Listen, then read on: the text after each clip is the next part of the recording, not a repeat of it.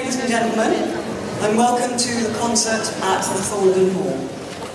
This evening we have an eclectic mix of music, starting with three pieces from The Armed Man, written by the Welsh composer Karl Jenkins. Ladies and gentlemen, we hope you enjoy the concert, and I would now like you to welcome on stage two people who are crucial to its success.